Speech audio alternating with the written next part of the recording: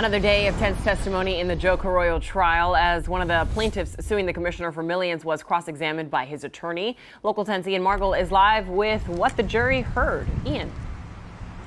This trial has been going on for so long at this point that they actually lost a juror. They had to go home. It was interfering with their life too much. So now they are down to just two alternate jurors. Today, Fuller back on the stand and Carollo's defense attorneys were cross-examining him once again.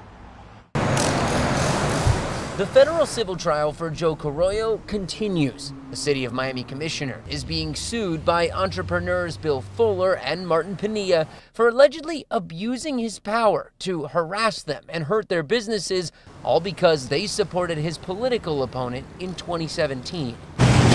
During testimony on Wednesday, Fuller talked about this meeting from Valentine's Day 2019 he told jurors he watched on a live stream as Carollo made a presentation that he and many others believed directly targeted Fuller's properties. I've been subjected to two hours of lies. Angry, Fuller rushed to City Hall to confront the commissioner, and the exchange that followed was recorded in the commission meeting archives. And you Thank are you. the biggest fraud that's hit Miami. Sir, you are a fraud that beats his wife. On Thursday, Carollo's attorneys got a chance to cross-examine Fuller, and things got testy quickly.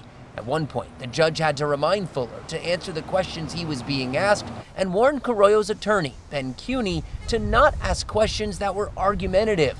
Kuehne spent most of the day showing jurors evidence that Fuller's properties had issues with code violations long before Carollo was elected to District 3. And while Fuller acknowledged some of the issues, he maintained things became exponentially worse once Carollo took office.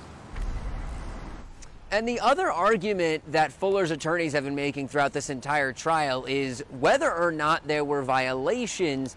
Carollo, they say, was so obsessed, so fixated on Fuller's properties, and that just wasn't his job. It bordered on harassment, and that's they that's why they say they are filing this lawsuit. They're going through this entire trial. Testimony will continue again tomorrow morning.